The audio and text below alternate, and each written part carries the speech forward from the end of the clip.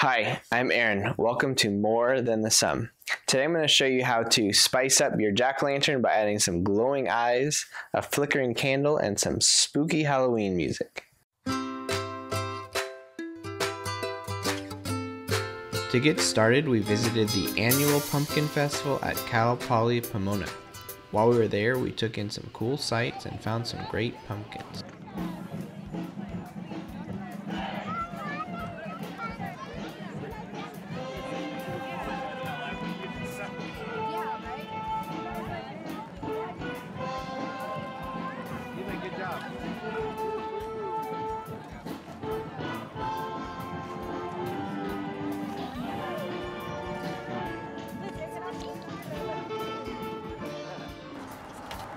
Next, I cleaned and carved the pumpkin and I made sure to cut eyes that were big enough to fit the lights that was going to stick in there later.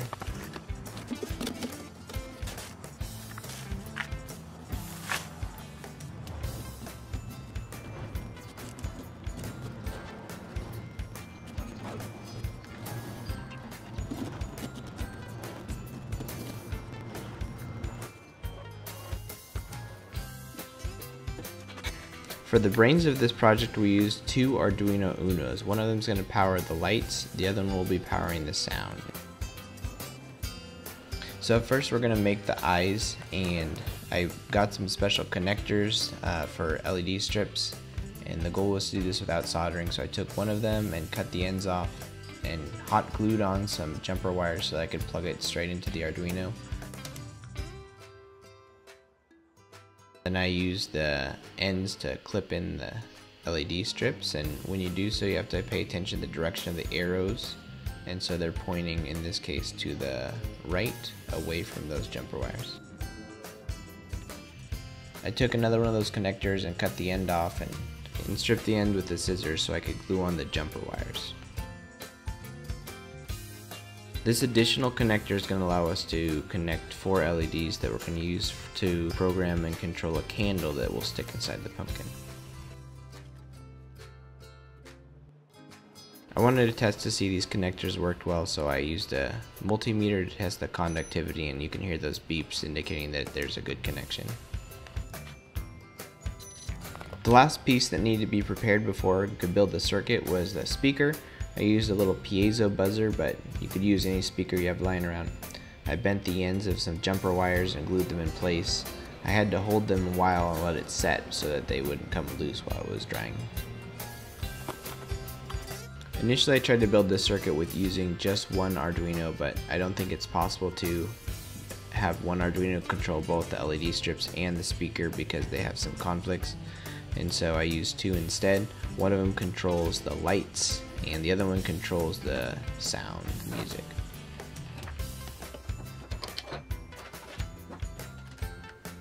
Now it's time to upload the code to the Arduino, so I ran it.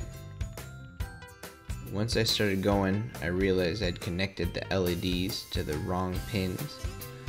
The ones that were supposed to be the eyes were acting like the candle, and vice versa. I went back and edited the code so I could switch the pins they were connected to, and then I re-uploaded it and it all worked great from there.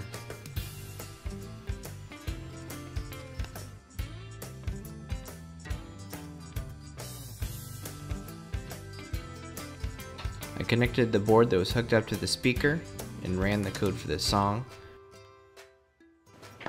This one was also connected in the wrong spot, so I just went ahead and moved it instead of waiting for the code to run again.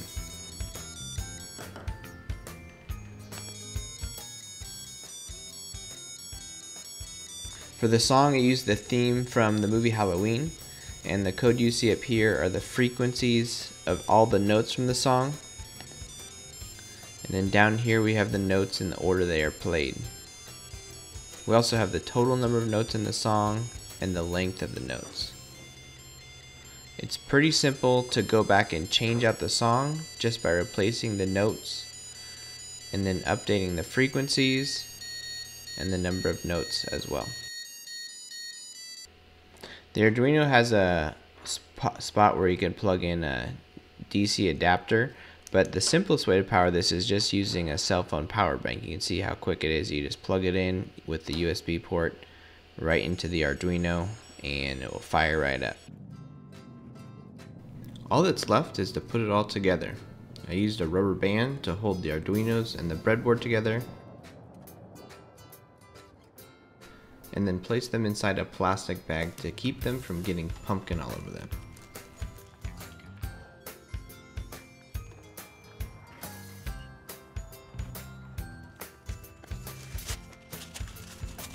I also wrapped the LEDs for the lights in a little bit of wax paper to diffuse the light so that you wouldn't see the pixels as much as the glowing light itself.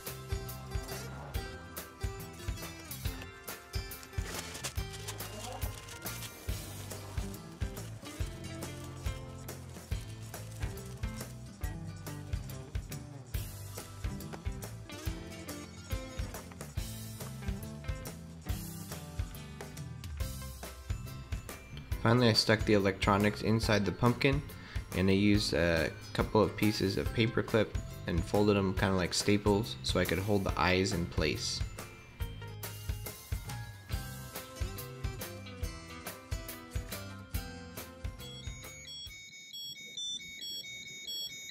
Thank you for taking the time to watch this video. If you're interested in building this yourself, there's some information linked down below. If you enjoyed this video, please give it a thumbs up and click the subscribe button if you want to see future content. Thank you.